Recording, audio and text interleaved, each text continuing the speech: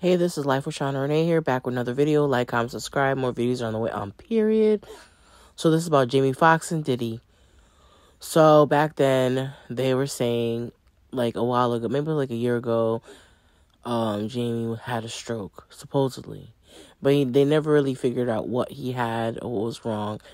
Now Jamie's coming out saying that Diddy's the reason why he was in the hospital or whatever be the case but I heard that allegedly that Diddy beat him up because he was videotaping a scenario and he got caught.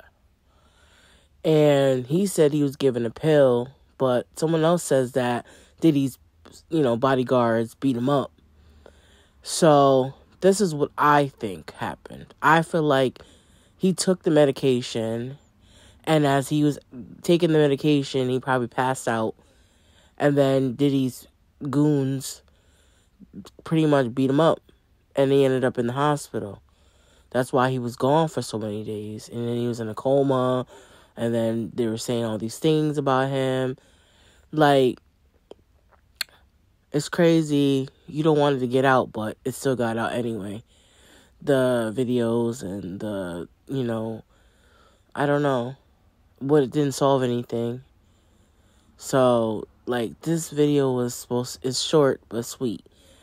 Jamie Foxx is finally like stepping up and saying like this is what's happening that happened to me.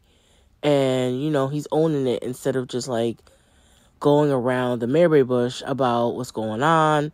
Like just be honest. Be like this is what happened. This is who did it. And start doing some charges. Like add to the charges he already has.